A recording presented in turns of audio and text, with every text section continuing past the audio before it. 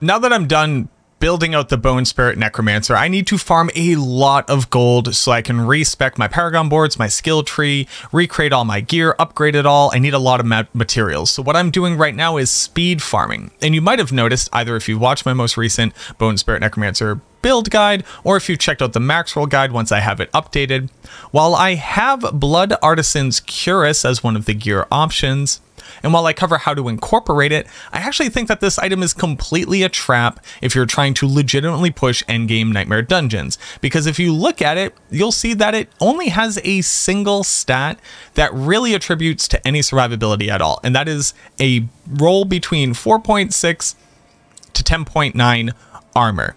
And if you've watched my most recent video where I point out just how much damage reduction you need and you will still get one tapped in higher tier dungeons, you legitimately cannot afford to not wear a chest piece that says multiple instances of damage reduction. But oddly enough, I'm wearing the Blood Artisan's Cuirass right now and I'm about to go into a Nightmare Dungeon. Why is that?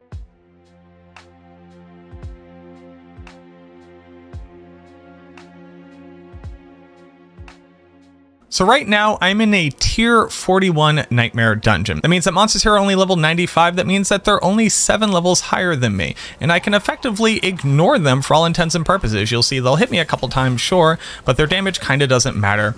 I walk up smooth and I just blow them up. But I'm wearing the Blood Artisan's Cuirass armor. And that's because when you are speed farming, you're typically going to be speed farming in things that aren't the highest possible difficulty content that you can do. Because clearing higher Nightmare tier dungeons, all it really does is get you some bragging points, test the mettle of your build, and also get you better glyph experience. But you don't really need that when you're speed farming, when I'm looking for materials, when I'm looking for salvaging, when I'm trying to get as many aspects as quickly as possible.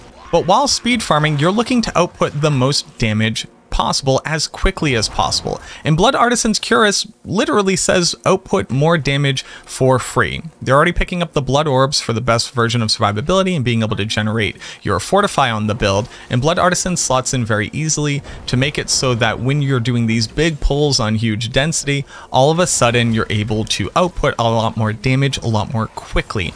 And that's legitimately where I currently see Blood Artisans as a tool on the Bone Spirit Necromancer. Now I also think that on other builds that just have more inherent survivability like a blood build, it might slot in more easily.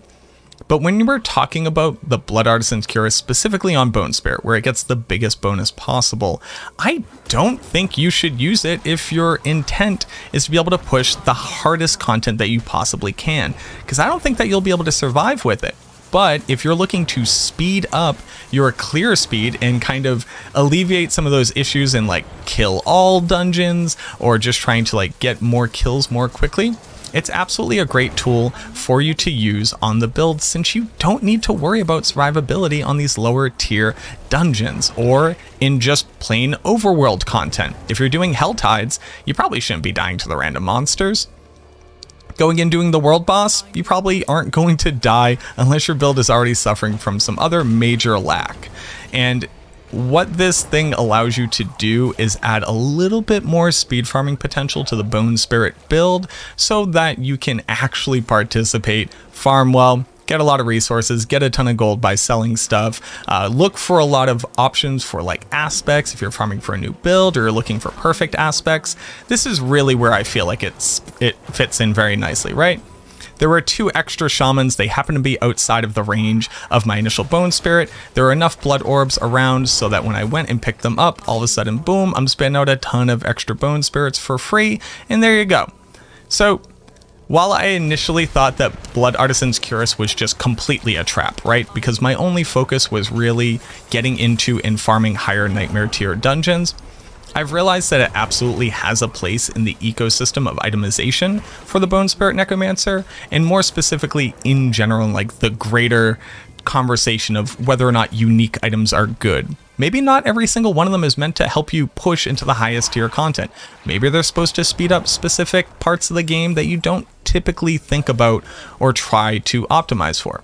I hope that this helps though, just kind of highlighting the idea of how you can use it and why I continue to include notes about it in the endgame Bone Spirit guide on Maxroll because it has a purpose Again, I'm going to get it updated, so if you see this video first and the guide isn't updated, I promise you it's going to be happening shortly.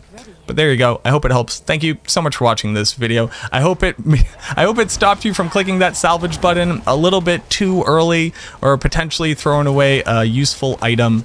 And uh, I look forward to seeing you in the next video.